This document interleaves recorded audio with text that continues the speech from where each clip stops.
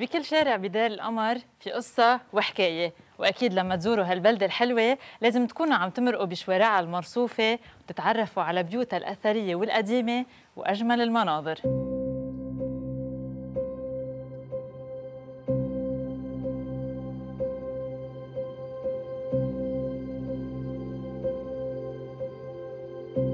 هلأ هيدي هون نحن بقلعة موسى. هاي قلعه موسى يلي نحن اشتغلناها أنا وياه كنا إيد إيد أنا وياه وصفى من أهم مشاريع السياحيه بلبنان.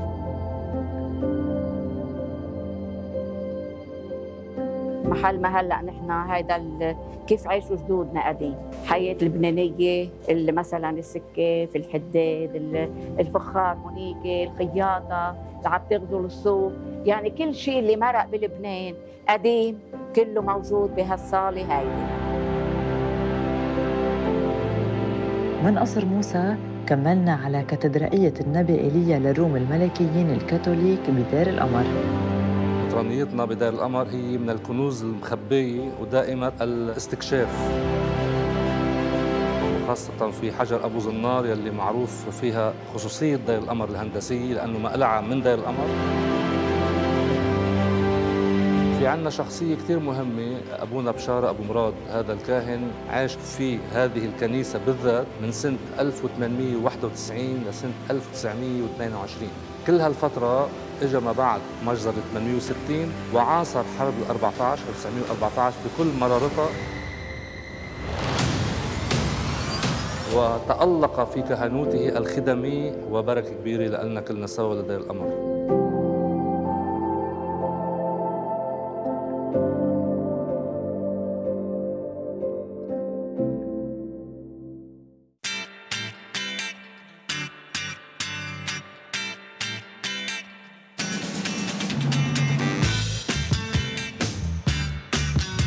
نحن شباب صبايا دير القمر همنا تضوية على السياحة التراثية والداخلية بدير القمر. في عنا أكثر من 36 معلم سياحي أثري تاريخي كمان في عنا ال golf cart نحن صرنا هلا تقريبا عم نعمل جزدرة لكل العالم بتحب تعمل برمات بقلب دير القمر أو فيهم يستأجروا كمان. On a pu manger euh, un peu les taouk et le kefta, c'est très très bon. بدير القمر في كذا أوتيلات نحن واحد منهم. في عنا سياحة حلوة كتير حتى القصر موسى منه بعيد عنا. وغير هيك في hiking و trails كمان hiking من هون على كفر حيم على بحيرة يعني أنا جايين من البرازيل أنا جاي لأشوف أهلي وستي والجميع كله بلبنان. سبحان الله بنشوف لبنان أجمل بلد بالعالم. دار القمر مليانة تاريخ وآثار.